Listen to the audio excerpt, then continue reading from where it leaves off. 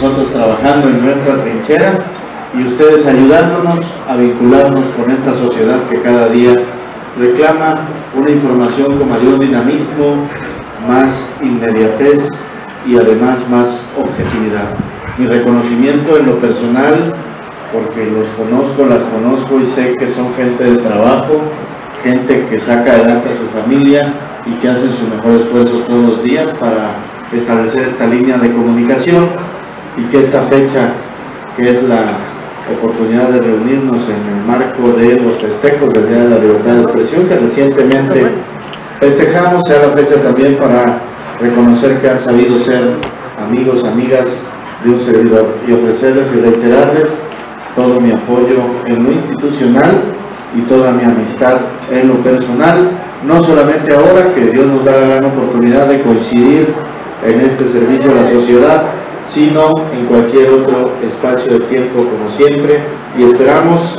que el hecho de ser parte indivisible de este servicio a la sociedad nos haga también que mantengamos esta amistad reconociendo la independencia, la objetividad, la transparencia que ustedes deben de tener en la comunicación con los ciudadanos. De mi parte, todo el respeto a la independencia, a la objetividad, a su libertad de criterio a su libertad de difusión y totalmente a su libertad de pensamiento.